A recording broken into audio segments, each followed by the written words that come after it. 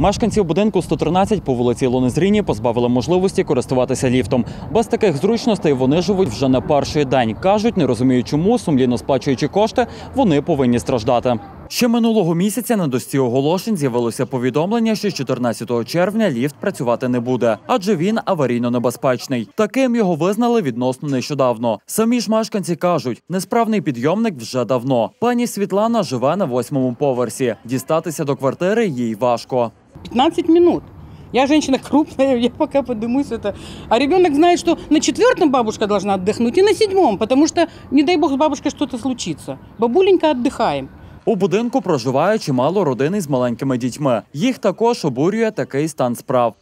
Треба з ними піти і в місто, і на площадку, на якої в нас взагалі нема дитячої площадки. Скаржаться мешканці й на роботу механіків. Застряли, меня везли на операцию в больницу. Значит, в лифте застряли я, жена и сын. Застряли. Целый час ждали лифтера. Вот, лифтеру звоним, лифтер говорит, я приехать не могу. Пришлите за мной такси в Росвигово.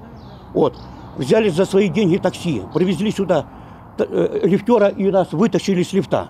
Подъезжает к тебе лифт на этаж, открывается и тут же начинает закрываться, потому что где-то на каком-то этаже кнопку заклинило. И надо впрыгивать в него. И точно так же выпрыгивать, потому что он тебе стукнет. И вот так вот ездим. А кто с детьми маленькими, кто с колясками. Я помню, тут спасали тоже. Коляска застряла, лифт вот за- забил коляску, и все, и никак не выйдешь. Пришлось там соседей звать по соседям, они приходили, растаскивали его. У меня такое заболевание сосудистое. Я мне очень. Если я еще купила что-то в руки, то все. Бывает так, что я сижу на улице, жду, когда мужчины мои, там кто-то спустится, возьмет все это. Ну, тяжело без лифта. Бывало такое, что ногу ставишь, лифт ударяет по ногам. Вот, и едет сам, куда захочет. Та, попри численні звернення до відповідальних служб та організацій, реакції немає жодної. Вони мені давали відповідь в прошлому році, що 3 вересня повинна бути проведено ліфта. Експертно-технічна оцінка. По сьогоднішній день вона не проведена. Ліфт, хоч і визнали аварійним, але щоб його відновити, не роблять нічого, кажуть мешканці. Наразі проводиться е, заключення договорів на 11 ліфтів у нас на проведення проєктно-кошторисної документації і буде проведено капремонт в цьому році цих ліфтів. Це теж попадає.